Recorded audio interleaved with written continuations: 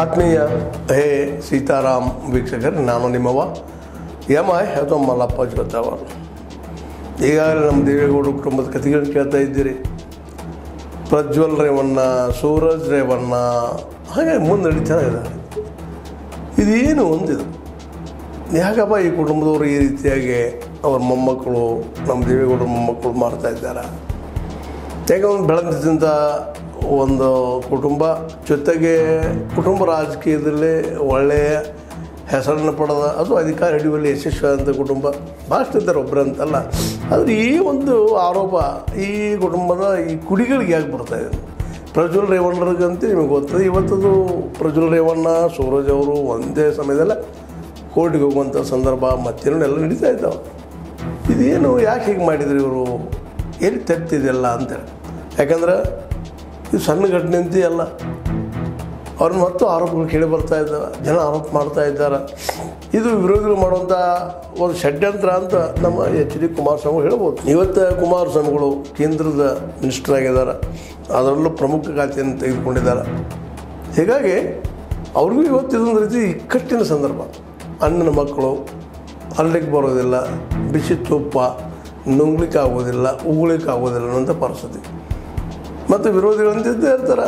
ಅದರಲ್ಲೂ ವಿಶೇಷವಾಗಿ ಇವರು ಎದುರಾಳಿಗಳಂತೂ ಸಾಧಿಸ್ಬಿಟ್ಟು ಈ ರಾಜಕೀಯವಾಗಿ ಸೋತಿದ್ದಾರೆ, ಈಗ ಹೆಣಿಬೇಕಂತ ಪ್ರಯತ್ನ ಮಾಡೇ ಮಾಡ್ತಿರ್ತಾರೆ. ಹೀಗಾಗಿ ಈ ಒಂದು ಆರೋಪ ಪ್ರತ್ಯಾರೋಪಗಳ ಸರಳವಾಗಿ ಅಥವಾ ನೇರವಾಗಿ ಕೇಳಿ ಬರ್ತಾ ಇದ್ದಾವೆ. ಆದರೆ ಆರೋಪ ಪ್ರತ್ಯಾರೋಪಗಳ ಈ ಒಂದು ನೆಲೆಯಲ್ಲಿ ನಾವು ಇಲ್ಲೊಂದು ಏನು ಮರಿತಾ ಇದ್ದೀವಪ್ಪ ಅಂದ್ರೆ ಯಾವ ಹೆಣ್ಮಕ್ಳು ಎಣ್ಣೆ ಆಯಿತೋ ಇವ್ರಿಂದ ಶಿಕ್ಷೆ ಆಗ್ತದೋ ಇಲ್ಲವೋ ಇನ್ನು ಮುಂದಿನ ದಿನದಲ್ಲಿ ಗೊತ್ತಾಗುವಂಥದ್ದು. ಯಾಕಂದ್ರೆ ನ್ಯಾಯಾಂಗದಲ್ಲೇ ಇವ್ರ ಮೇಲೆ ಆರೋಪ ಆಗಿರುತ್ತೆ. ತನಿಖೆಯನ್ನು ಚೆನ್ನಾಗಿ ನಡೆದ ಅಂತ ನಾವು ತಿಳ್ಕೊಳ್ತೀವಿ. ಇವತ್ತು ಆರೋಪ ಮಾಡ್ತಾ ಇದ್ದಾರೆ. ಇಲ್ಲ, ಕಾಂಗ್ರೆಸ್ಸಿಗರು ಬೇಕಂತ ಮಾಡ್ತಾ ಇದ್ದಾರೆ. ಹಾಗೆ, ಹೀಗೆ ಅಂತೇಳಿ. ಇವರು ಆರೋಪ ಮಾಡ್ತಾ ಇದ್ದಾರೆ. ಆದಷ್ಟು ಅದನ್ನು ಸರಳೀಕರಣ ಮಾಡಬೇಕು, ಅದನ್ನು ಗೊಂದಲ ಕಡಿಮೆ ಮಾಡ್ಕೋಬೇಕು ತಮ್ಮ ಮಕ್ಕಳನ್ನ ಉಳಿಸಬೇಕು ಅನ್ನೋಂಥ ಪ್ರಯತ್ನವೂ ಮಾಡ್ತಾ ಇದ್ದಾರೆ. ಈ ಒಂದು ನಮ್ಮ ದೇವೇಗೌಡ ಕುಟುಂಬದವರು. ಈಗಾಗಲೇ ನಮ್ಮ, ನಿಮಗೆ ಗೊತ್ತದ, ವಿಶೇಷವಾಗಿ ನಮ್ಮ ಎಚ್ ಡಿ ಕೆ ಅವರಂತೆ ಸ್ಪಷ್ಟವಾಗಿಲ್ಲ. ಇದು ಆರೋಪ ಅಷ್ಟೇ ರೀ ಅಪರಾಧಿ ಅಲ್ಲ. ಅಪರಾಧಿ ಯಾವಾಗ ಕೋರ್ಟ್ ಡಿಸಿಷನ್ ಕೊಡ್ತದೆ ಆಗ ಅಪರಾಧಿ ಅನ್ನು ಅಂತೇಳಿ ಸಾಧ್ಯಷ್ಟು ಅಪರಾಧಿ ಆಗಲಾರ್ದಂಗೆ ಒಂದು ಪ್ರಯತ್ನ ಮಾಡಿಸ್ತಾ ಇದ್ದಾರೆ. ಇದೇ ಸಂದರ್ಭದಲ್ಲಿ ನಮ್ಮ ಈ ಸೂರಜ್ ಅವ್ರದ್ದು ಬಂದದ. ಅದು ಜೋರು ಹಿಡಿತಾ ಇದೆ ದಿನಕ್ಕೆ ದಿನಕ್ಕೆ. ಹೀಗಾಗಿ ಈ ಒಂದು ಹಾಸನದ ಒಂದು ರಾಜಕೀಯದಲ್ಲಿ, ಅದರಲ್ಲೂ ಒಕ್ಕಲಿಗರ ರಾಜಕೀಯದಲ್ಲೇ ಒಂದಿಷ್ಟು ಏನಪ್ಪ ಅಂತಂದ್ರೆ ಎಚ್ ಡಿ ಕುಮಾರಸ್ವಾಮಿಗಳ ಅಥವಾ ಈ ಈ ಒಂದು ನಮ್ಮ ದೇವೇಗೌಡರ ಕುಟುಂಬದ ಬಲ ಕಡಿಮೆ ಆಗ್ಲಿಕ್ಕತ್ತದೇನಂತೆ ಆದ್ರೆ ಒಂದು ಏನಪ್ಪ ಸಂತೋಷ ಪಡೋ ವಿಷಯ ಅಂದ್ರೆ ಅವರು ಏನೂ ಇರಲಿ ಅವರು. ಅದಂತ ನಡೆದ ಹೆಣ್ಮಕ್ಳು ಪಾಪ ಅಂತ ಅನ್ಯಾಯಗೊಳಗಾದವರಂತೆ, ಅವರು ಕೆಲವೊಂದು ಈ ಪ್ರಜ್ವಲ ಕೈಯಲ್ಲಿ ಸಿಕ್ಕಂಥ ಅನೇಕ ಹೆಣ್ಮಕ್ಳು ಊರು ಬಿಟ್ಟು ಹೋದರು ಅನ್ಯಾಯಕ್ಕೊಳಗಾದರು ಅನ್ನೋದು ಅನೇಕ ರಿಪೋರ್ಟ್ಗಳನ್ನ ಕೇಳ್ತಾ ಇದ್ದೀವಿ. ಮತ್ತು ಅಲ್ಲಿ ಹೋರಾಟ ಆಯ್ತು ಅಲ್ಲಿ, ನಿಮ್ಗೆ ಗೊತ್ತು. ಈಗೂ ನಡೆದ ಅನೇಕ ಹೆಣ್ಮಕ್ಳು ಸಂಘಟಿತರಾಗಿ ಇವರು ವಿರೋಧ ಹೋರಾಟ ಮಾಡ್ತಾ ಇದ್ದಾರೆ. ಇವರೆಲ್ಲರೂ ಒಂದೇ ರೀತಿ ಅನ್ನೋಂಥ ಆರೋಪ ಮಾಡ್ತಾ ಇದ್ದಾರೆ. ದೇವೇಗೌಡ ನಡ್ಕೊಂಡು ಇಲ್ಲಿವರೆಗಿದ್ದಂಥ ಎಲ್ಲರೂ ಇವರು ಗಂಡು ಮಕ್ಕಳು ಹೆಚ್ಚು ಕಡಿಮೆ ತಪ್ಪುಗಳನ್ನು ಮಾಡಿದ್ದಾರೆ ಅಂತ ಒಂದು ವಿರೋಧಿಗಳು ಆರೋಪ ಮಾಡ್ತಾ ಇರ್ತಾರೆ. ಇವು ಆರೋಪದಲ್ಲೇ ಹುರಳಿಲ್ಲ ಅಂತ ಅನ್ಲಿಕ್ಕೆ ಆಗೋದಿಲ್ಲ. ಯಾಕಂದ್ರೆ ರೆಡ್ ಆಗಿ ಸಿಗ್ತಾ ಇದ್ದಾರೆ ನೋಡ್ರಿ, ಪ್ರಜ್ವಲ್ ಅವ್ರದ್ದು ಏನಪ್ಪ, ಇನ್ನು ಮುಗಿದು ಬಿಡು, ಬಂದು ಪಾಪ ಇಂಡಿಯಾಕ್ಕೆ ಅವ್ರು ಏನಾಗ್ತದೆ ನೋಡೋಣ ಅಂತ ಸಂದರ್ಭದಲ್ಲಿ ಈಗ ಅವ್ರ ತಮ್ಮ ಸೂರಜ್ ಅವರು ಅವರು ಒಂದು ಹೊಸ ಪ್ರಾಬ್ಲಮ್ ಪ್ರಾಬ್ಲಮ್ ಆಗಿದ್ದು ಅದು ಇದೇ ರೀತಿಯಾದಂಥ ಪ್ರಾಬ್ಲಮ್ ಹೀಗಾಗಿ ಇವತ್ತು ಈ ಒಂದು ನಮ್ಮ ಕುಮಾರಸ್ವಾಮಿಗಳು ಅಥವಾ ನಮ್ಮ ದೇವೇಗೌಡರ ಕುಟುಂಬ ಅಲ್ಲಿ ಒಂದು ಹಿಡಿದು ಕಡಿಮೆ ಮಾಡ್ಕೊಳ್ಳಿಕ್ಕೆ ಇನ್ನೊಂದು ಮೆಣಸಿದ್ರು. ಮತ್ತು ಇನ್ನೊಂದು ಜನ ಅಲ್ಲಿ ಹಾಸನ ಜನ ಪ್ರಜ್ವಲ್ರನ್ನು ತಿರಸ್ಕಾರ ಮಾಡಿದ್ದಾರೆ ಈಗಾಗಲೇ. ತಿರಸ್ಕಾರ ಮಾಡಿ ಬೇಡಪ್ಪ, ನಿಮ್ಮ ಸಹವಾಸ ಬೇಡ ಅನ್ನುವಷ್ಟು ಜನ ಏನಪ್ಪ ಅಂದ್ರೆ ಉತ್ತರ ಕೊಟ್ಟಿದ್ದಾರೆ.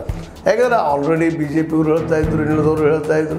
ಇಲ್ಲರಿ ಪ್ರಜ್ವಲ್ ಟಿಕೆಟ್ ಕೊಡ್ಲಿಕ್ಕೆ ಹೋಗ್ಬೇಡ್ರಿ, ಅವ್ರ ಮೇಲೆ ಆರೋಪಗಳಿದ್ದಾವೆ, ಹಾಗೆ ಹೀಗೆ. ಆದರೆ ಆ ಸಂದರ್ಭದಲ್ಲಿ ರೇವಣ್ಣವ್ರು ಕೇಳಲೇ ಇಲ್ಲ.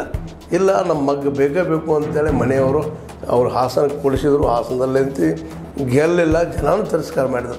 ಮೋಸ್ಟ್ಲಿ ಈ ಘಟನೆ ಒಂದು ಉನ್ನತ ಹೋಗೋಕ್ಕಿಂತ ಪೂರ್ವದಲ್ಲಿ ಚುನಾವಣೆ ಆಗಿಬಿಟ್ಟಿದ್ದು ಸಪೋಸ್ ಏನಾದರೂ ಈ ಘಟನೆ ಆದಮೇಲೆ ಅಂದರೆ ಪ್ರಜ್ವಲ್ ಮೇಲೆ ಆರೋಪ ಬಂದ ಮೇಲೆ ಏನಾದ್ರು ಚುನಾವಣೆ ಆಗಿದ್ದರೆ ಭಾಳ ತೊಂದರೆ ಆಗ್ತಿತ್ತು. ಅಂತ ಇನ್ನೂ ಹೆಚ್ಚು ಹೆಚ್ಚಿನ ಪ್ರಮಾಣದಲ್ಲಿ ದೊಡ್ಡ ಸೋಲು ಆಗ್ತಿತ್ತು ಅನ್ನೋದು ಒಂದಿಷ್ಟು ಆರೋಪಗಳು ಅಥವಾ ಮಾತುಗಳು ಕೇಳಿ ಬರ್ತಾ ಇದ್ದಾವೆ. ಈಗ ಸೂರಜ್ ಅವ್ರದ್ದು ಬಂದದ ಹೀಗಾಗಿ ಕೆಲವೊಂದಿಷ್ಟು ಅವ್ರ ಪರ ಇದ್ದಂಥ ಜನ ಅಯ್ಯಪ್ಪ ಹಿಂಗೆ ಆಗಬಾರ್ದೈತೆ ಅಂದರು. ಆದರೆ ಇವರಿಂದ ಅನ್ಯಾಯಕ್ಕೊಳಗಂಥ ಜನ ಅದರಲ್ಲ. ಅವ್ರ ಗತಿ ಏನು ಅಂತ ಇದು ದೊಡ್ಡ ಪ್ರಶ್ನೆ ಇದೆ. ಅದಕ್ಕೆ ಇದು ಏನಪ್ಪ ಅಂದ್ರೆ ನ್ಯಾಯಸಮ್ಮತವಾಗಿ ತನಿಖೆ ಆಗಲಿ ಎನ್ನುವಂಥ. ಆದರೂ ಕೆಲವು ಏನು ಬರ್ತದಪ್ಪ ಅಂತಂದ್ರೆ ರಾಜಕಾರಣಿಗಳ ಮೇಲೆ. ಈ ಕೆಲವು ಸಂದರ್ಭ ಬಂದಪ್ಪ ಅಂದ್ರೆ ನಮ್ಮದು ಚುಪ್ ನಿಮ್ಮದು ಚುಪ್ಪನ್ನು. ಹೊಂದಾಣಿಕೆ ಹೊಂದಾಣಿಕೆ ರಾಜಕಾರಣ ಇಲ್ಲಿ ಮಾ, ನಡೀತದೆ ಏನು ಅನ್ನುವಂಥ ಸಂಶಯ ಎಲ್ಲರದ್ದು.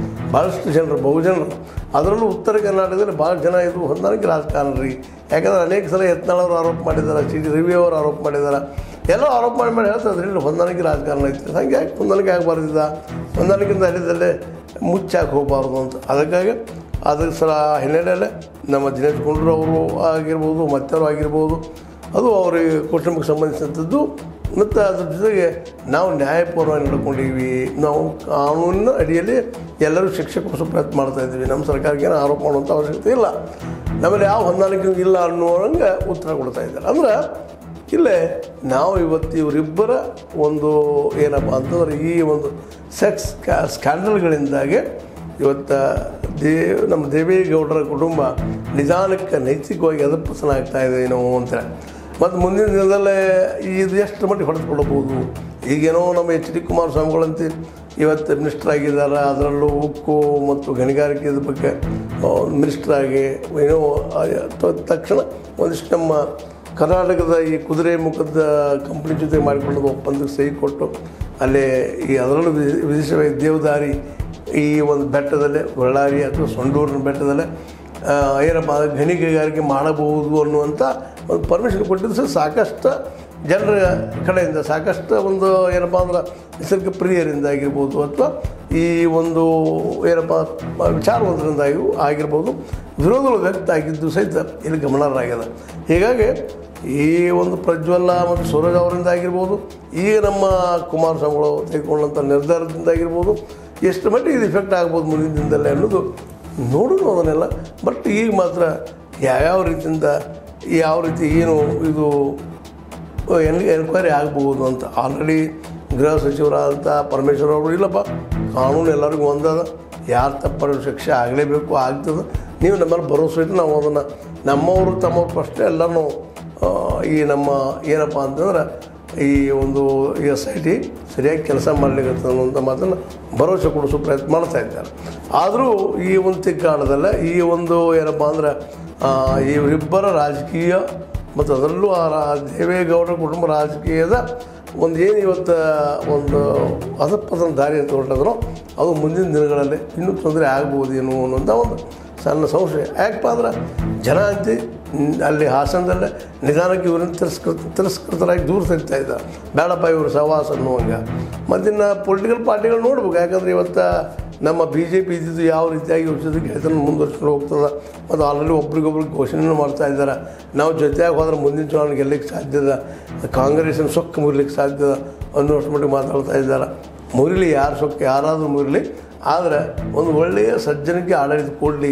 ಮತ್ತು ತಮ್ಮ ತಮ್ಮ ಮಕ್ಕಳನ್ನು ಇನ್ನಾದರೂ ಅವರನ್ನು ಸರಿಯಾದ ಪಥದಲ್ಲಿ ಒಯ್ಯುವಂಥದ್ದು ಅಷ್ಟೇ ಅಲ್ಲ ತಪ್ಪಿತಸ್ಥರಿಗೆ ಶಿಕ್ಷೆ ಆಗಲಿ ಮೇಲೆ ಬಾಯಲ್ಲಿ ಹೇಳೋದಲ್ಲ ಅದು ತಪ್ಪಿತಸ್ಥ ಕಂಡು ಬಂದಾಗ ತಪ್ಪಿಸುವಂಥ ಕೆಲಸ ಆಗಬಾರದು.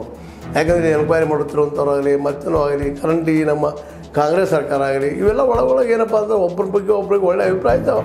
ಮತ್ತು ಕೋರ್ಟ್ ಏನಪ್ಪ ಅಂದ್ರೆ ಸಾಕ್ಷಿಗಳನ್ನು ಕೇಳ್ತದೆ, ಅಥವಾ ಎವಿಡೆನ್ಸಸ್ ಕೇಳ್ತದೆ. ಆ ಎವಿಡೆನ್ಸ್ಗಳು ಸಿಗದಂಗೆ ವ್ಯವಸ್ಥೆ ತಪ್ಪಿಸುವಂಥ ತಪ್ಪಿಸುವಂಥ ಕೆಲಸಗಳು ಭಾಳಷ್ಟು ನಡೀತಾ ಇರ್ತಾವೆ. ಹೀಗಾಗಿ ಕೇಸು ಡೀಲಾಗಿ ಬಿದ್ದು ಹೋಗ್ತಾ ಇರ್ತಾವೆ.